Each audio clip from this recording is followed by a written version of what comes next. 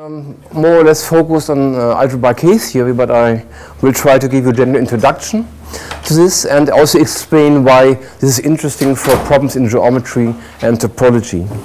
So the overlap between the first and the second talk is nearly nothing except a few definitions like which was on the slide last time. I would now know, hope that you are familiar with the group ring. So uh, I think I can skip that. But I would like to mention again that um, the purpose of the group ring is that you can uh, study G representations over a ring R. It's the same as looking at RG modules. And for us, the motivation was that when you have a G covering over a CW complex, then the cellular chain complex is actually a module over the uh, group ring, and this really gives you a lot of important new information. I would like to study the group ring uh, more in this uh, talk. Let me start with an old question in algebra. Suppose you have a group G and you have an element of finite order. And let's F be a field of characteristic 0. And when you're looking at this uh, ring, you would like to explore it, you would first, for instance, look like idempotent or zero divisors. Last time I was looking at zero divisors, uh, I have to re refine myself for this talk to idempotence. The reasons will become clear. And you just can play around. Do you find idempotence? And here is at least one. So we have finite order. You add up all the powers of your element until you reach just the uh, order minus 1, and you divide by the order, and this is x. It is an easy calculation to show that x squared is x. And now let's check what happens uh, in, in the very elementary case, where our group is G is Z2. And uh, let's check whether we can find out all idempotence. T is also generator, and I will work, let's say, over the rationals. So let's compute, right? So x squared is a plus t squared. And now we really hope you know what your um, rules are. This element looks like this. Right, because b squared and t squared is 1. And we would like to get this to be x. This is a plus bt. And now the things are the same if, if you compare the coefficients.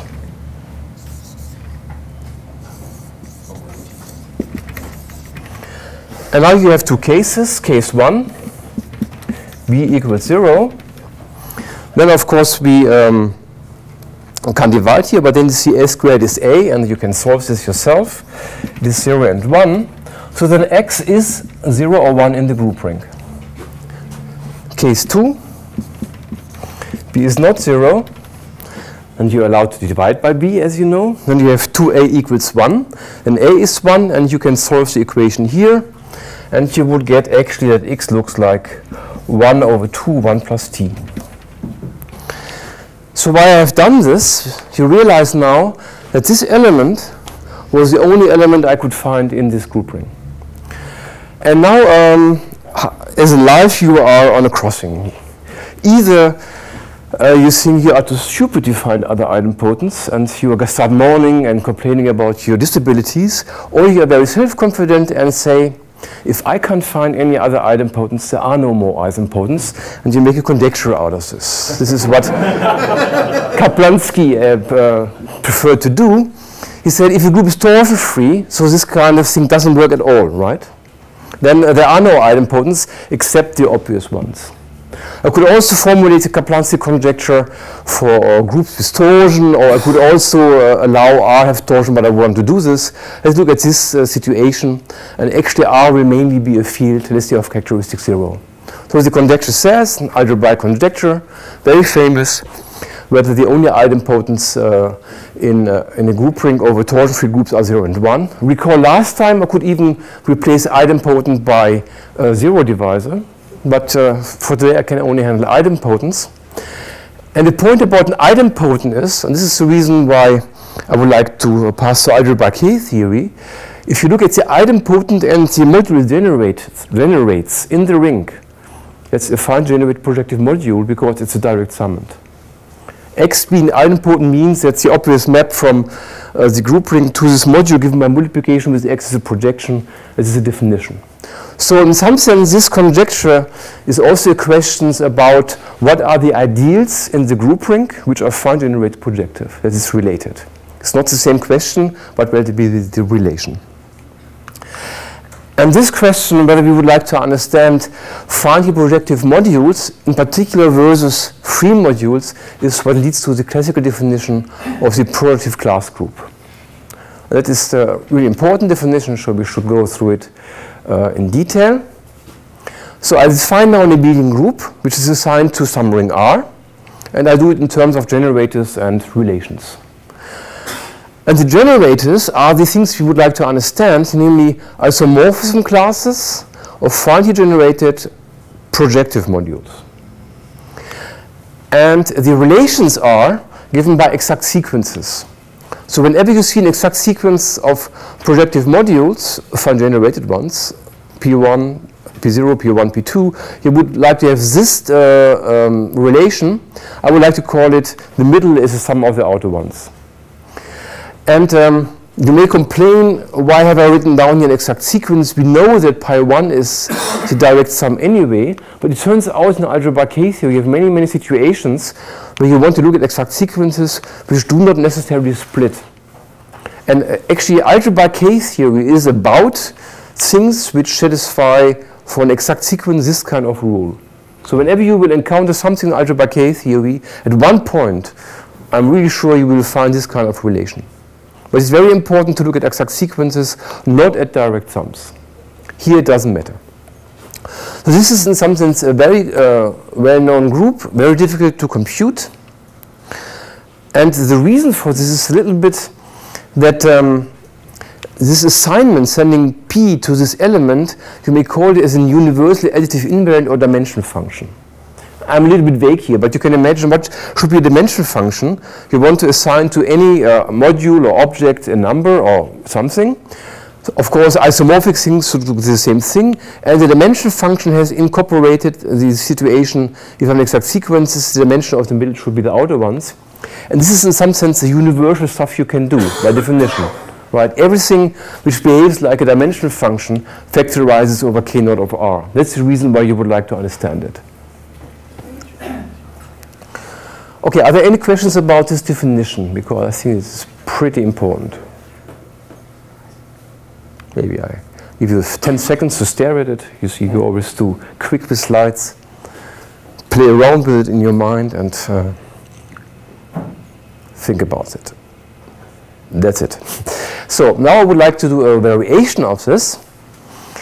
Uh, this is a definition of the reduced K group uh, where you just look at the map from the K zero of the integers to the K zero of R, uh, actually by induction this is really a uh, homomorphism. Uh, a ring homomorphism gives you a morphism between the K naught groups, but what it is really is better described here.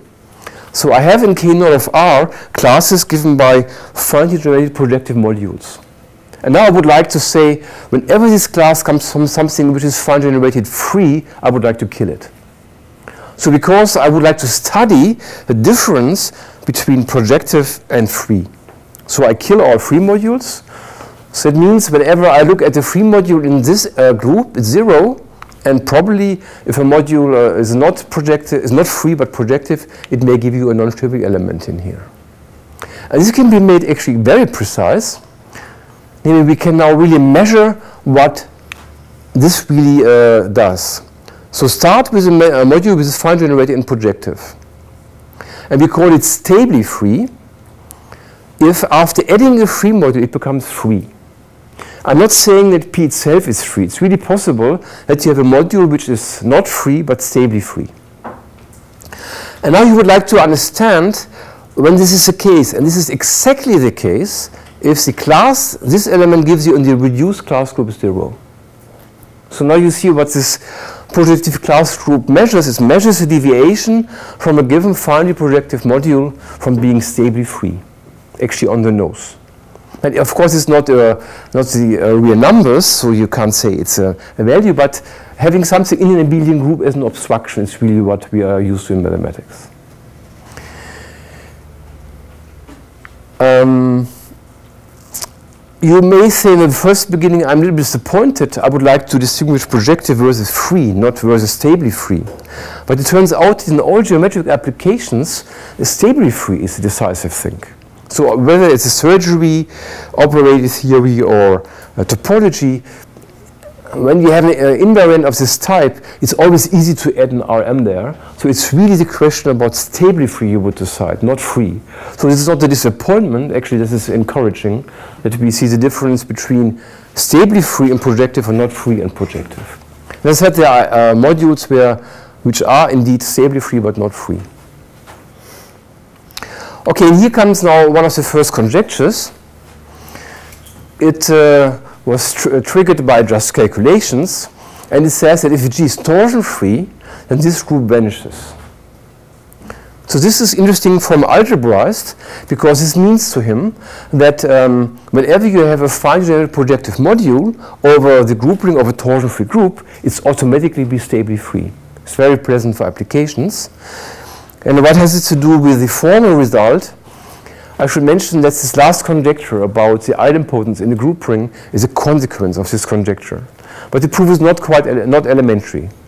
I, I, try to give you an idea because this idempotent gives you some module, but the fact that this module is stably free forces the idempotent to be 0 or 1. There's some work to do.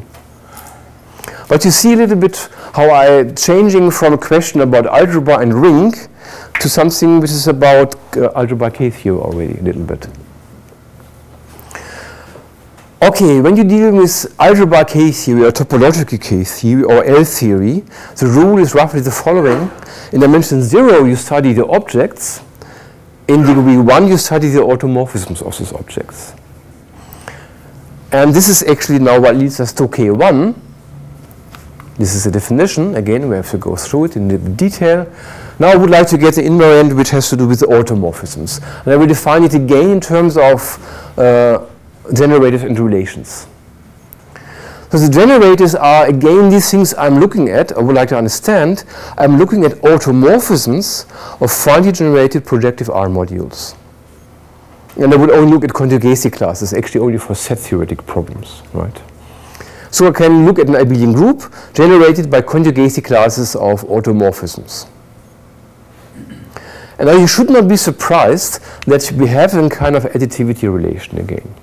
But of course now additivity for automorphisms. So when I write down a sequence of automorphisms, I mean I have given a sequence 0, pi 0, pi 1, pi 2, 0. I write it downstairs again, and then the automorphisms make everything commute in an obvious way. And I would like to have that an exact sequence gives you this relation, which I always call the middle and the outer ones. Let's go back to K0.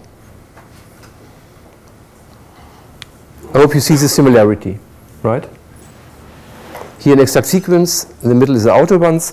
It's the same thing, but now I'm looking at other objects, namely I'm looking at automorphisms. But now when I have automorphisms, I can do something which I can't do with objects, I can compose them. And this also would like to reflect. So I will also uh, impose a relation that if I compose two automorphisms, this class is just the sum of the individual classes of the automorphisms. It's quite reasonable, right? Okay, this is again K1 of R, and um, we have 13 seconds concerning my plan to stay at the slide and go through the definition. If you have questions, I'm happy to answer them. Um, so the last thing implies that we take a projective module and the identity automorphism. It's zero. zero. Yeah, because identity is identity plus identity. Two times identity is identity. That means identity is zero. Yes, that's true. So essentially, that's the only addition, right? I mean, because what, what else would it be, right? The addition of automorphisms? Uh, yes, in some sense, yeah, yeah. The only reasonable one I can think of. Yeah.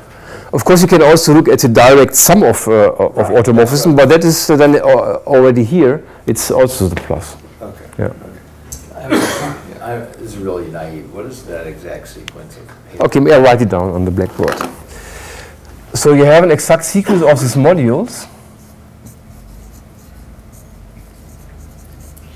You write it down again. It's the same exact sequence.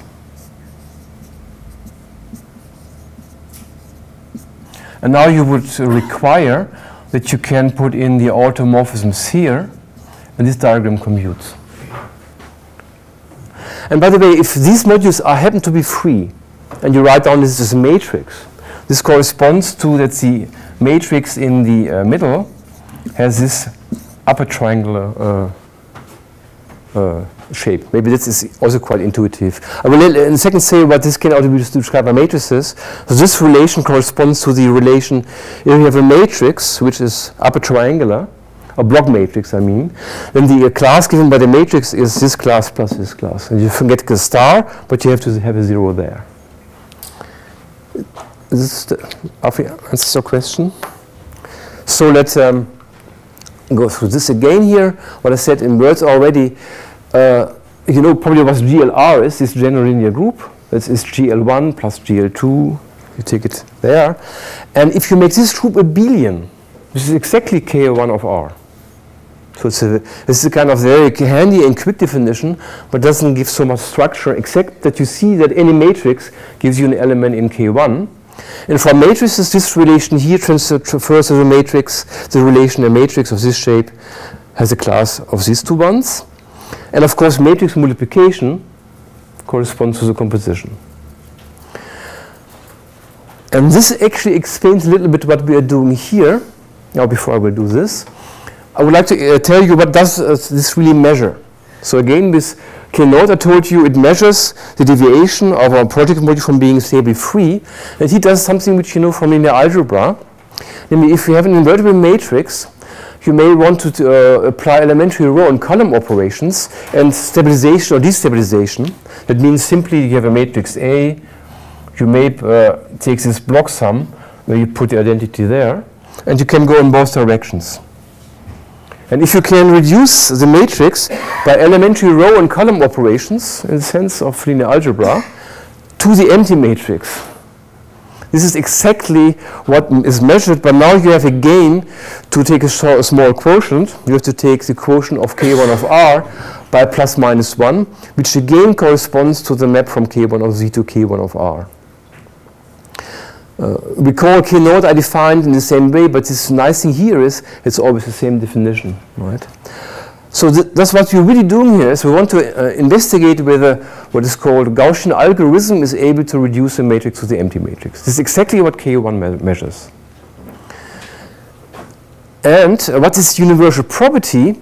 It's like a determinant. Now if you now go back to your linear algebra course again, what are the main properties of the classical determinant? It's determinant of A times B is determinant of A times B, but write it now additively, you get a plus. And determinant has a property that if you have a block matrix, you can compute it in terms here. So whenever you have a commutative ring, determinant gives you a map out of K1 to the units in this ring. This indicates a little bit, I'm trying here to write down determinants in a very general fashion. And also notice now that I have a notion of a kind of determinant for R non-commutative as well. I just have a ring R.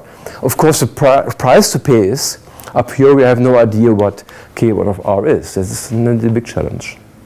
Yes? I'm sorry, this is dumb one, but so the matrix represents a map from where to where? yes, the matrix is a square matrix, so I get a map from Rn to Rn. And this is a free module, in particular projective, so we have an automorphism. So any matrix, right? So make it clear. Do it here, maybe.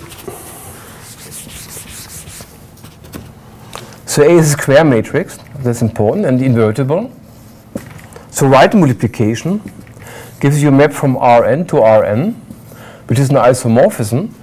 Rn is a uh, fine projective module, so you get an element in K1 of R. I was just asking, where does the matrix come from, the, uh, the short exact sequence Okay. Um,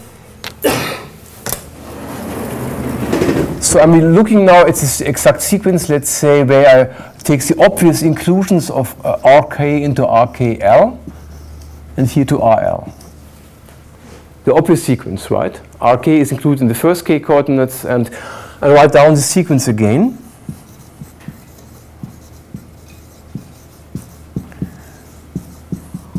And now I suppose you have an automorphism given by a matrix A. Suppose here's an automorphism given by matrix B, and I would like to find some matrix for which the diagram computes. And then you will easily check that this is of this shape. But you have to have the zero here.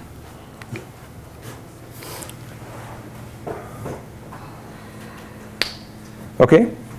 This is a, a, direct check. You will sit down for half a minute, you will figure that out. Okay?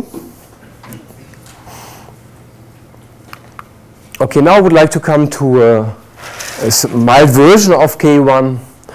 For topological reasons, you would like to divide out not only plus minus 1, you would like to out divide out units given by plus minus 1 G and G element in the group.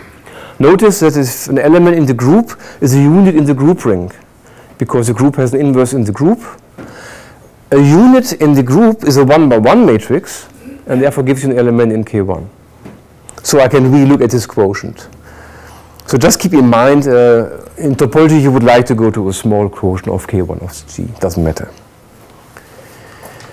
And here's a, a lemma that the Whitehead group of the trivial group is zero.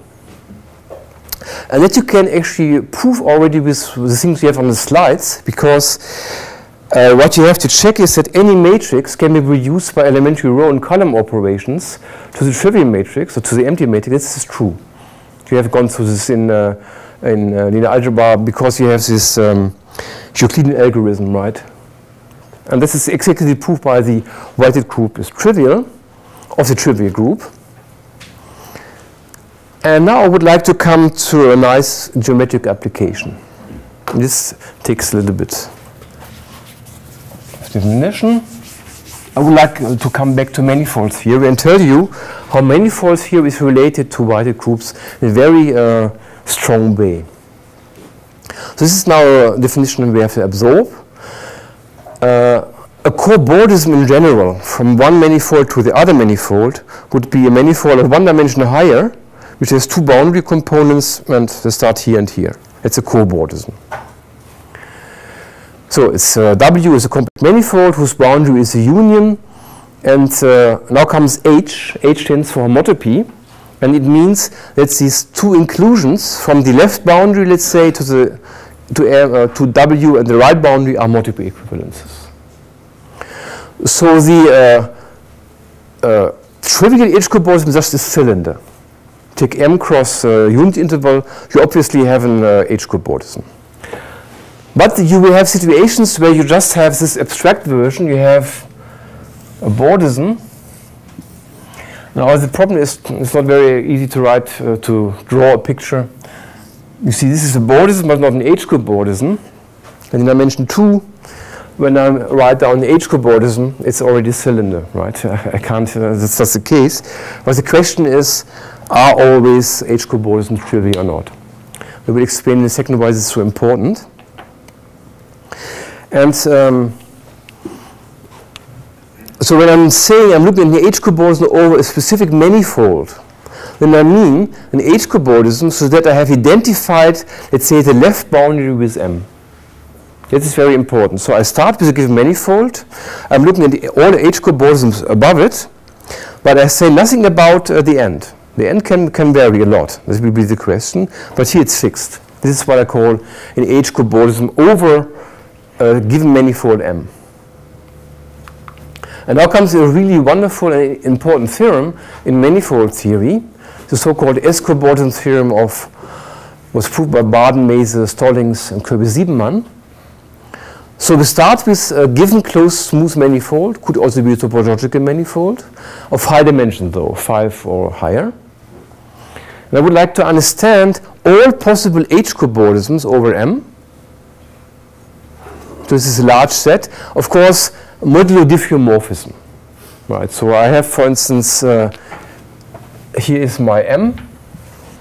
I have two H cobordisms. I can only draw these trivial things. And I would like to have a diffeomorphism from here to here, but it's very important. It should be compatible with the markings of the boundaries. So I have identified this with this boundary, this with this boundary, and the f should actually uh, keep this fixed. I'm not, not saying anything here. This could be some diffeomorphism which I do not understand. So this is a space of, or the set for us only of H cobordisms. And of course, this should depend heavily on M. Right? But the surprise is that there's a so-called Whitehead torsion, which gives you a map from here to the Whitehead group of the fundamental group of M, and this is the bijection. And this is really remarkable because the Whitehead group depends only on the fundamental group of M. Where this a priori, you would say, should depend heavily on M and more than on the fundamental group. And this is rather explicit. I think this Whitehead torsion for people who have worked with is really a computable invariant. So you can really figure out what this is, this image of an H-cobordism is under this map. So we get a very intimate relation between the H-cobordisms and the Whitehead groups, which is actually the uh, cornerstone in the classification of manifolds. And I would at least like to give you an idea uh, why this is a really important theorem, the last one already. You probably have heard about the Poincare conjecture that says that if you have a manifold which is homotopy equivalent to a sphere, then it's already homeomorphic to a sphere. That's a famous conjecture. And um, due to Smale, this was proven in high dimensions. I will go through the proof in a second, the idea only. And of course, meanwhile, due to Freedman and Perelman, we knew it always also in dimension 4 and 3, and dimension 2 is anyway trivial. But this conjecture is settled. But I would like to explain to you how do you get this conjecture from the uh, H-cobordism theorem. So the conjecture I think is clear, right? A manifold is homotopy equivalent to sphere while it is homeomorphic. Okay, what is the proof?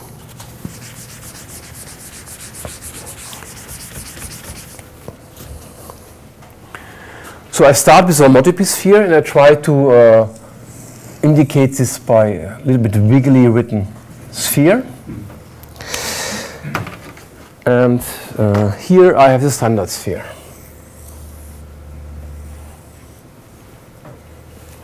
And I have a homotopy equivalence from there to there, and I would like to construct a homeomorphism. So I'm doing something strange in the beginning. You see, I have here the, uh, the, the uh, polar caps here and here. And you can arrange your homotopy equivalence in a way that you can find two points here. This goes to the north pole, this goes to the south pole, and you have actually small disks around this uh, uh, points which really go to the polar caps and uh, nowhere else. So what I can do is I can take them out. And I can take them out here as well. And I still get a map from here to here, which by elementary means is still a homotopy equivalence. But of course, when I delete here uh, the two polar caps, I get just a cylinder. And since this uh, object here, with deleted disks, is homotopy equivalent to cylinder, this exactly means it's an H-cobordism. Because the inclusion of the boundary of the disks here into the whole stuff is a homotopy equivalence. Now the sphere is simply connected, and I told you that the Whitehead group is trivial. So we know that's by the S-cobordism theorem that this here is homeomorphic to a cylinder. So now I can write down actually a homeomorphism here. And I also do know that this here below is the identity. I do not know what happens here. There's some homeomorphism from uh, this sphere to this sphere. And of course now the trick is I take the disks back, the disks I've put here on my uh, board, I plug it in there and there, I plug it here and here, and now I have a homeomorphism. But be careful, this only works in topological category, it doesn't work in the smooth category. And uh, the problem is in some sense that I have to extend the given homeomorphism on the sphere to the disk. That is possible in the topological category, but not smoothly. So there's a whole theory of uh, things where this fails called exotic spheres. So this, as mentioned before, the, you can't do it smoothly. And here's now the interesting conjecture. Recall we had the conjecture that K naught vanishes the torsion-free group, and I make the conjecture that the Whitehead group vanishes as well. Wait, go back for a second? Yes? Uh, Sure. What, uh, where are using the fact that the dimension is high? Oh, um, uh, in the proof of the H-cobordism theorem. so which I really completely skipped and is of course difficult. Oh, okay. Yeah, it has to do with the Whitney trick that in some sense uh, you have have, a, have an S1 in a manifold where you know it's non-homotopic. And I would like to find an embedded disk, two disks, uh, with bounces. And if I have enough space, there's no problem. But you can imagine in dimension 3 it would be difficult because you, uh, you can't really uh, have enough space to make your disk embedding. And the uh, key problem uh, from dimension 4 was solved by Freedman that he was essentially able to show we can get an embedding. Dimension 3 is a different story. It's really with Ricci flow and so on. Okay, but now you maybe appreciate this conjecture. You can imagine that uh, the vanishing of the Whitehead group for group G means uh, that all H cobordism are trivial. This is very important for applications in manifold theory. and also, uh, just a, a, small lemma here. Suppose you have a finely presented group and any uh, number, and then the following statements are now equivalent. The Whitehead group vanishes, and for one closed manifold with the right fundamental group, every H cobordism is trivial. Or I could say for every closed manifold with this fundamental group, every H cobordism is trivial. Why is this so important? This is a statement about K-theory. It's an algebraic statement. This is a topological statement. And uh, the proofs, let's say uh, until uh, maybe 10 years ago, were always you prove this algebraically, you get this as a consequence and you are happy as a topologist. But meanwhile, the vanishing of this group is often proved by proving this and then going back. That is a big surprise because uh, the obvious way goes from algebra to uh, topology, but meanwhile it has been turned off, turned around, and most of the progress we have, have been made about this conjecture comes from the geometry. So again, we are playing the game here. You have a purely algebraic question, which comes when you want to prove it in certain classes from geometry. And I should say, I don't know whether I have the time to say something at the end about the uh, method of proof. They use actually uh, flow spaces. It's a very hard, very long story. But now think about the original conjecture about the Kaplansky conjecture, where I started with idempotents in a, a torsion-free group ring. Would you think you, you use flow spaces to prove this conjecture for certain groups? And this is again why um, we had some success here. You are not, should not stare at your own small uh, area of, of results. There's many things you can just exploit from other areas. Okay. And now I would like to motivate at least uh, the statement of the Farrell-Jones conjecture. And um, since I'm aware this audience is really not uh, specialized in algebra K theory, I will do it in a very uh, sketchy way, also using K theory as a black box. I don't want to go into the definitions. You have seen K naught and K1, but these K groups are defined for all integers. So there is K minus 100, and there's also K 400, right? And uh, they are really important for many, many applications in algebra, in algebraic geometry even, or in uh, topology, as I said. And we would like to understand these groups. But it's a difficult task because RG is so complicated.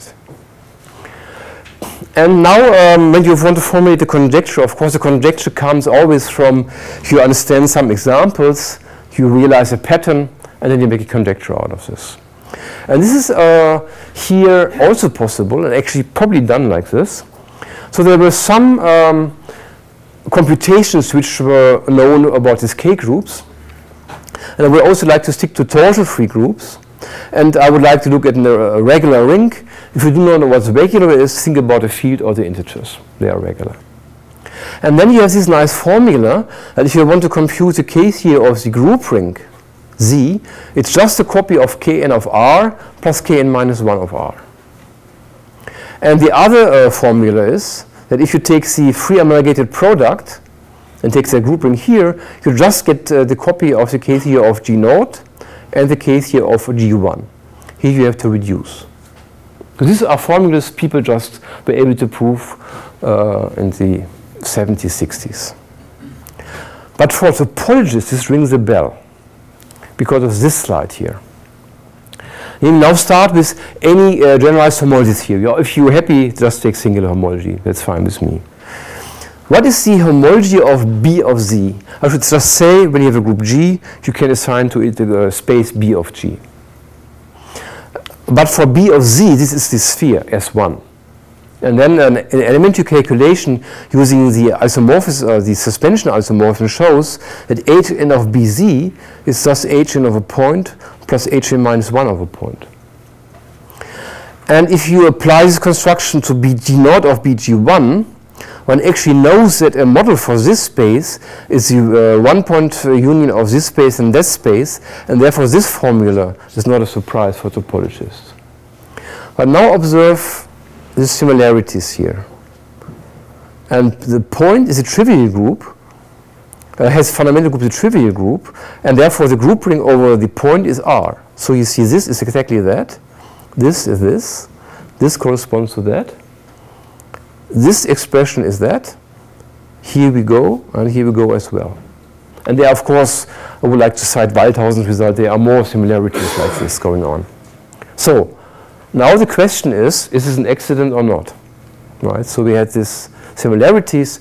Could it be that we can find a nice homology theory so that this formula, which was suggested by the um, applications before, is true, that Kn of Rg is nothing else and would be very present for topologists to be this homology theory applied to Bg.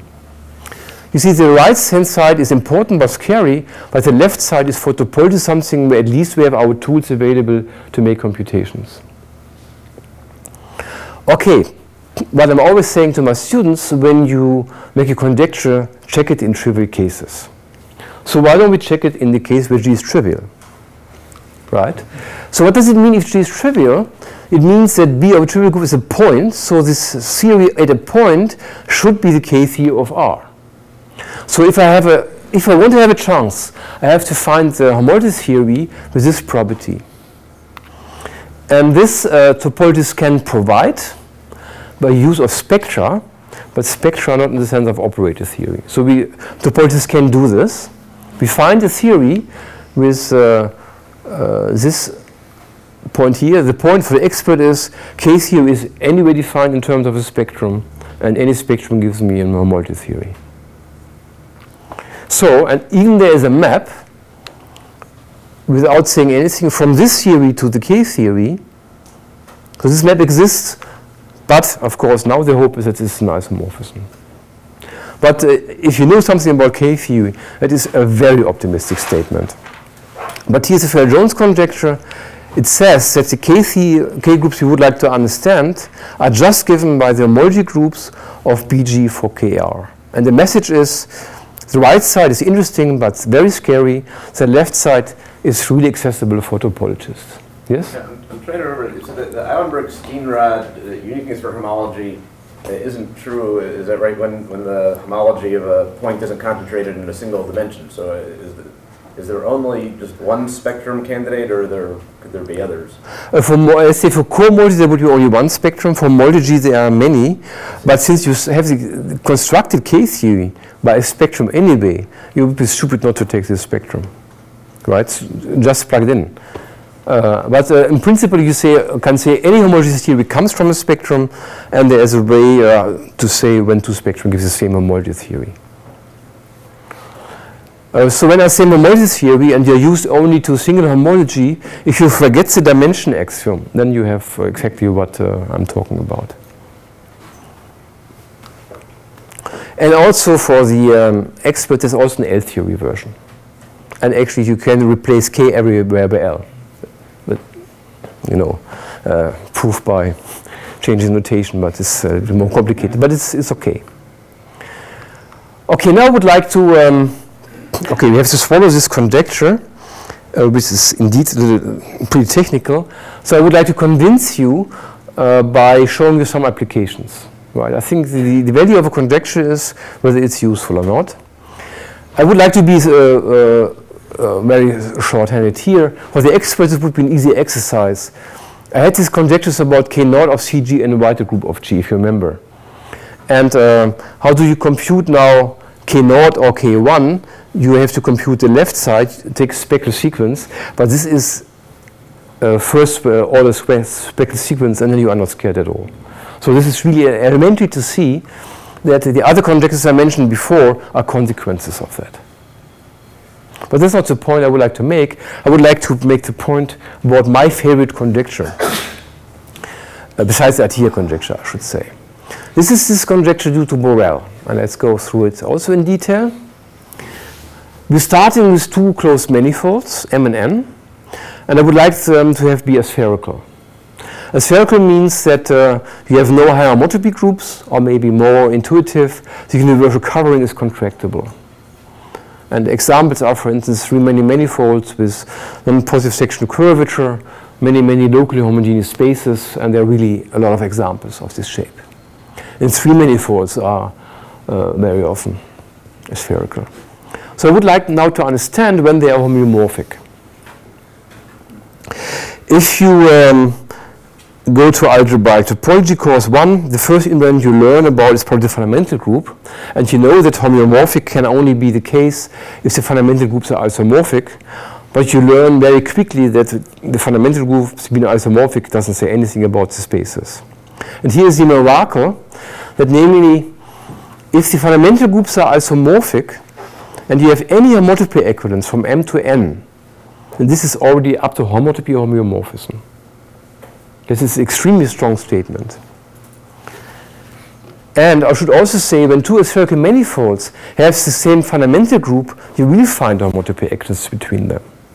So in other words, the Borel conjecture, which says actually more, but also says that two closed spherical manifolds are exactly homeomorphic if the fundamental groups are isomorphic. Very pleasant, but extremely unlikely. Right? Think about the uh, vast majority of simply connected manifolds, manifolds which uh, have no fundamental group. You have tons of them, spheres, complex projective spaces, and so on. But here, aspherical seems to make everything very rigid. And um, I should say uh, where this comes from, actually it's older than the Mostow rigidity, but this is probably maybe a more, uh, uh, people are more familiar with this. Mostow rigidity did say something in the spirit. You would look at two closed hyperbolic manifolds of a dimension big enough. You have a homotopy exists between them, then Mostow predicts that up to homotopy it's actually an isometric diffeomorphism. So the Borel conjecture actually has a weak conclusion only homeomorphism, but of course there are many more aspherical manifolds than the hyperbolic manifolds. And also a very delicate point, uh, the Borel conjecture is not true if you uh, want to have a diffeomorphism. So there are very um, uh, delicate counterexamples by Farrell and Jones where the manifolds are very close to being hyperbolic. So it's just you have an hyperbolic manifold on this on this uh, target, and the other manifold has pinched negative curvature around minus one, as small as you want, and still you have something which is not uh, smooth, uh, diffeomorphic to it. But if it is minus one, then Mostow works. And um, this is, of course, really uh, technical. The Farrell-Jones conjecture I mentioned before does imply this conjecture about Borel. What is the uh, difference between what Farrell Jones proved and the fact that there are uh, fake spheres in higher dimensions? Oh, this is minimal, but um, you see the spheres are simply connected. They are, of course, not spherical. But what Farrell actually and Jones are doing is, Oh, yeah. yeah, but no, but it's still okay. Because with the hyperbolic manifold. What they're really doing is they take a manifold, connect some with an exotic sphere, show that the curvature here is as pinched uh, close to minus one as you want, but this exotic sphere still makes this not uh, diffeomorphic to the other one. So the exotic spheres actually play a fundamental role in this uh, proof of Farrell. Here's a quick question. Yeah. Uh. Yeah. So basically, K1 for a group, K1 space is unique up to homeomorphism, right? Uh, say, For, for a group, K1 space is unique up to homeomorphism, right? So for, when it, once we have two, two manifolds M and M with the fundamental group G, then aren't they already homeomorphic? up to homotopy. So this, this uh, B, BG is up to homotopy uh, unique, not up to homeomorphism. So uh, maybe you read your question. I don't know whether. Uh, I, I thought, I mean, K1 space is unique up to homeomorphism. No, not true. Only up to homotopy. Right. uh, you could do something uh, like uh, model for BZ is S1. And now I'm doing something like this, right? I just attach a triangle to it, and then it's not a, a homeomorphic anymore, but still has the right homotopy type. But if both uh, models are manifolds, then they're suddenly homeomorphic, right? So any model for S1, uh, for, for, uh, for the integers, which is a manifold, is actually homeomorphic to S1. But if I don't start with a manifold, you can get everything by just adding some contractible space to it.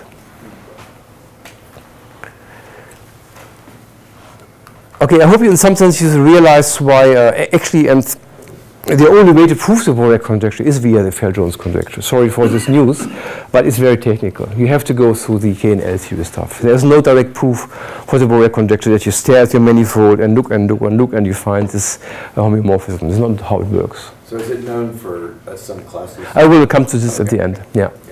Actually, the message, of course, will be we know the, the Borel conjecture was known for some classes, but now the Farrell-Jones conjecture is known, especially in the last six or seven years, there was an explosion of groups for which this is known. I will come to this second. So I now could go on, of course I won't. There are many, many other applications of the Farrell-Jones conjecture, which I just have listed here. Uh, for instance, for the geometric group theorists, you may ask whether uh, the boundary of a hyperbolic group is a sphere, and the answer is yes, but then it comes from a manifold, which is unique up to homeomorphism. You can look at fibering manifolds of classification questions. You have applications to the homotopy groups of DFM. And there are other conjectures like the Novikov conjecture, the Bass conjecture, and so on, which do all follow from the Farrell-Jones conjecture. But this will really go beyond this uh, talk. But it's really amazing how many classical conjectures follow from this Farrell-Jones conjecture. There's also a general version of it, but for time reason, I told you I always prepare more slides than I'm showing. That was it. There's an L version. I don't care, but now what is the status? Is your question. So which group do we know the conjecture? You see, I can talk about for three hours about conjecture if I can't prove it for any group. I, hmm, I should really stop doing this. but here is a rather amazing result for me. At least you see, you write grant applications and you promise this and this. And this time we really did more than we promised, right? so, okay, what is uh, the status? Um, here are some prominent groups. And now sometimes you uh, need some some uh, group theory to understand in no notions, like in hyperbolic group, this is a very famous notion to the Gromov. We have the example you like most is the fundamental group of a manifold with negative sectional curvature is hyperbolic. But this class is much bigger. Then you have CAT zero groups, uh, which uh, correspond to fundamental groups of manifolds with non-positive section curvature. So now you could allow here the section curvature to go to the, zero. Um, it's not true that CAT zero groups are more general than hyperbolic groups, but the conjecture is actually yes, but one doesn't know. Do you mean you say the full Farrell-Jones conjecture? Oh yeah, okay, so I should mention this. There is a version with twisting the coefficients, with allowing uh, going to wreath products, where you can do a lot of things, which is much more general than the thing I was mentioning, and this is the full one. I'm really going for the maximum here at the moment. Or for instance, for L-theory purple, you can allow group uh, orientation characters as well. So it's a really general situation. So we have it for CAT zero groups. We also have it for all solvable groups. And what is also uh, was really uh, kind of breakthrough for us is if we know it for all lattices in almost connected uh, Lie groups. And the point is also they don't have to be uniform. So for instance, we know it for SL and Z, and the Baum-Connes conjecture, for instance, is open for SL and Z for n bigger than 3. It's a big uh, open problem in this world. The Baum-Connes conjecture is an operator theoretic version of this, just for the Wait, what's almost connected? Um, finding many path, uh, path components. Oh. And then actually um, it's true for all, it will play a role, uh, but I will not, you will not see it in my next lecture, that it's true for all fundamental groups of all manifolds of dimension 1, 2, or 3. I'm really saying all manifolds here. I have not said compact, I have not said uh, without boundary. So I can apply it, for instance, to knot complements. That will be one of the applications I have. And uh, also uh, don't have to be compact. That has some advantages. Then, if you coming from arithmetic side, we do know it for subgroups of real and Q, and deal of the function field of a finite field, and we know it also for all uh, S arithmetic groups. So, if it says something to you, it's fine. If not, be impressed anyway. Right? but uh, there's more because the class of groups where this is conjectured true has some very strong inheritance properties. For instance, if so fj should not be the class uh, where the full conjecture is true, where we are happy. And if you have two classes, uh, two groups in this class, then the direct product is also there immediately. And this is very important if you have a subgroup of G, and G satisfies the conjecture, the subgroup as well. And um, it passes to over to overgroups of finite index. And here is an important thing I will come to later. Suppose that your group is a directed limit of uh, other groups. And when I'm saying a directed limit, the structure maps doesn't have to be injective. I will come to this in a second. And you know the conjecture for each of the GIs, you know it for the whole group. And I will tell you later why this is uh, rather important. I should also say, you see, I don't have the time to mention all the people here.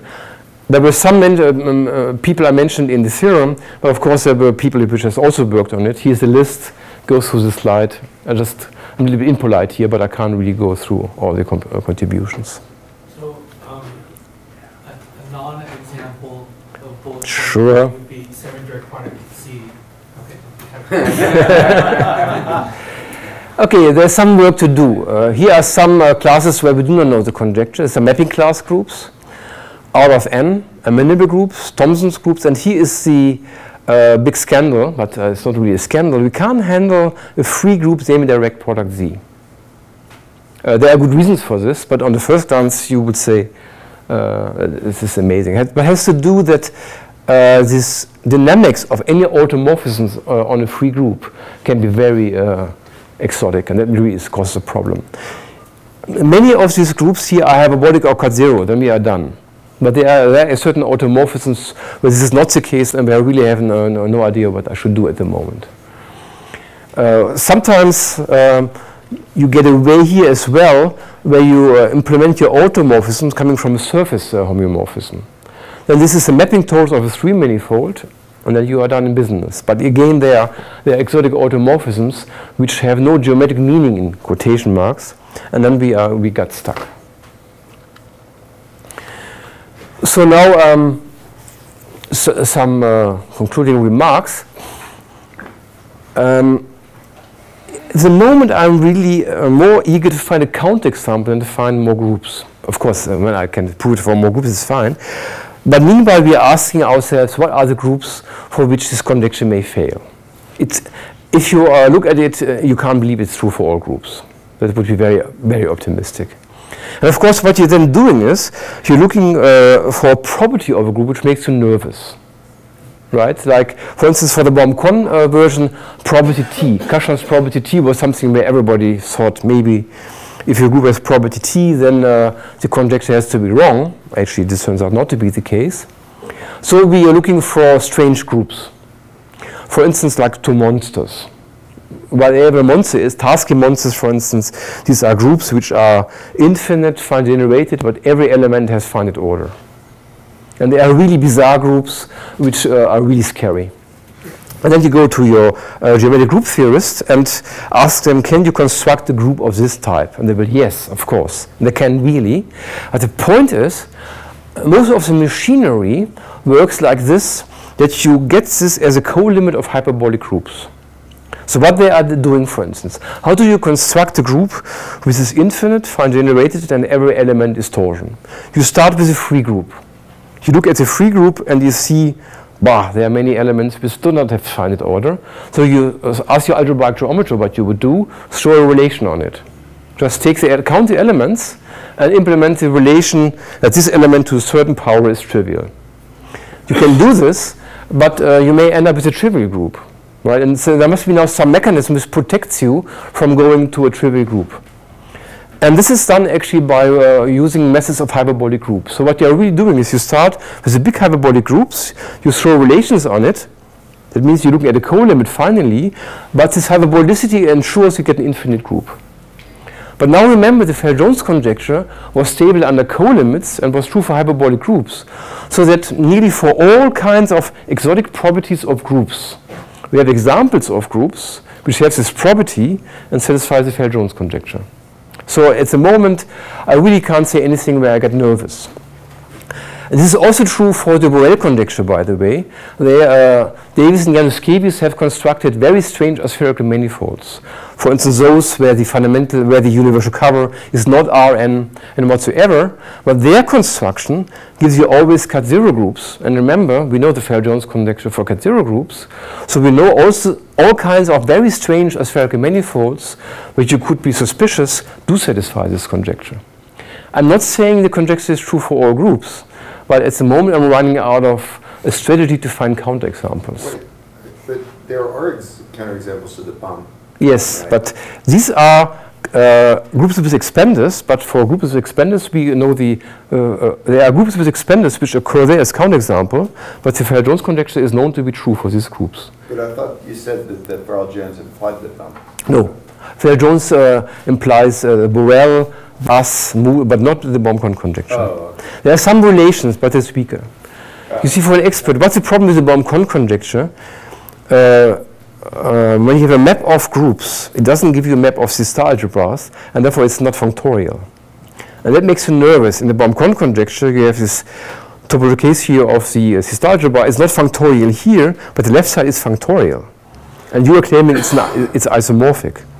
And the reason why this counterexamples really work have to do with this lack of uh, functoriality. But the Farrell-Jones conjecture is uh, functorial in the best way you can think. And we uh, know that the counterexamples for which the Baum-Connes conjecture fails, they do satisfy actually the Farrell-Jones conjecture. Again, we do not know what you could do. Okay, maybe I give you, I have three minutes left, some idea of the proofs right? At least you should get the flavor. That's all I can do.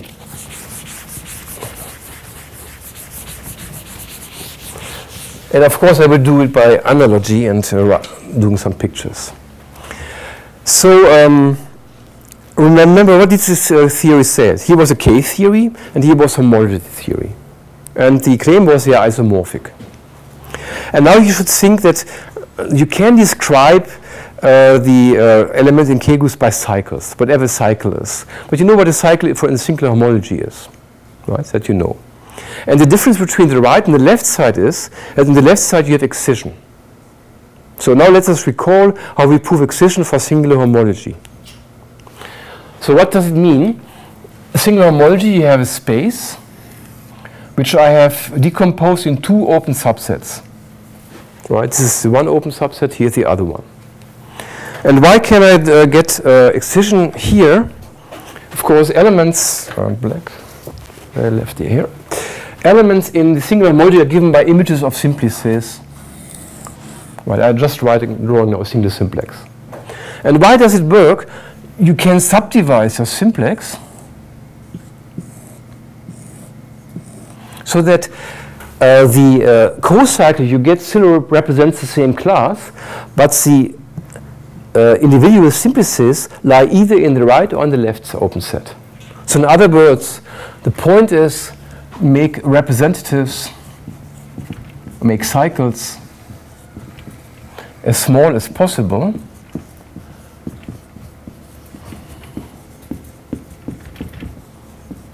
of course without changing their class.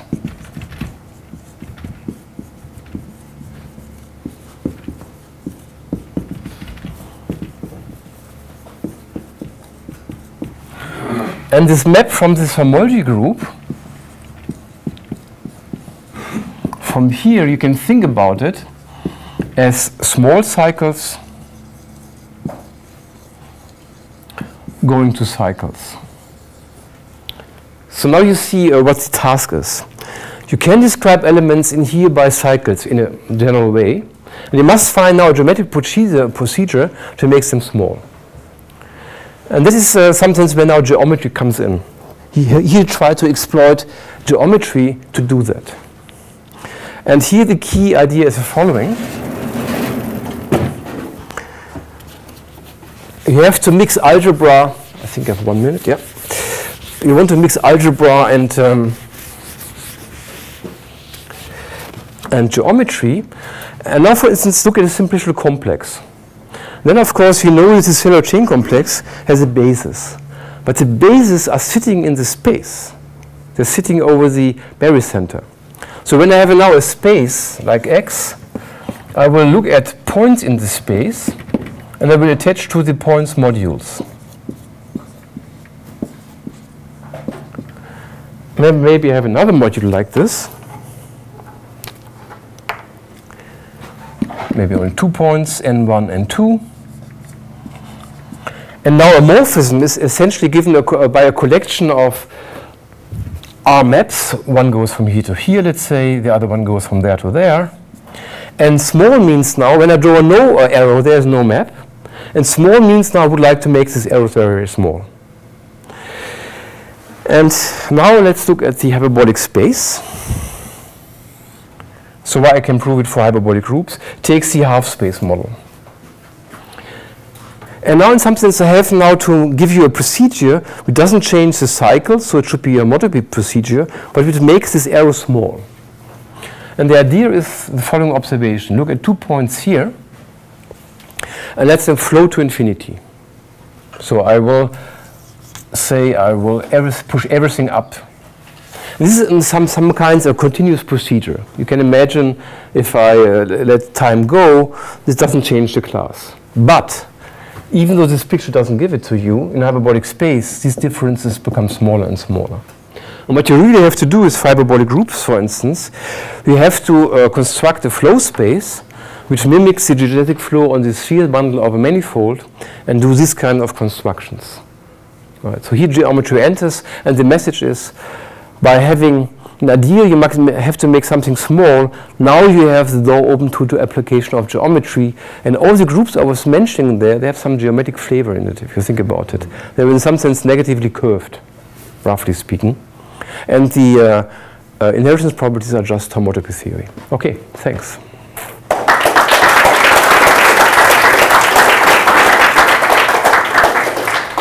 Questions? We do have the session again, right? Is that this afternoon? I'm happy to, to do that, yeah. Question?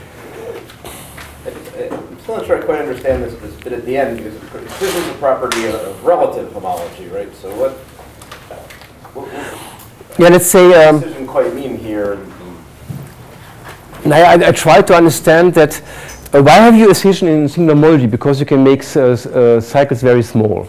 And that's the same idea here. And uh, don't take it too seriously, but I'm saying we have something described by cycles here. This is described by small cycles. And that's, that's the inclusion in the map. So I have to find, uh, for a cycle, a small cycle simply of the same thing to get surjectivity. But injectivity is the same when you're looking at bounded cycles right? You have a, a small cycle, it's bounded by a big cycle. Now you make the big cycle small, and then you still have injectivity. This is kind of arguments in topology. Whenever you have a surjectivity proof, you have an injectivity proof for free because you apply relative surjectivity, right? And this is very vague here, but I would like to give you the idea that th- that's how geometry enters. That is uh, uh, a long way to go, and this is a very successful story here. Any others? Thank our. Thanks.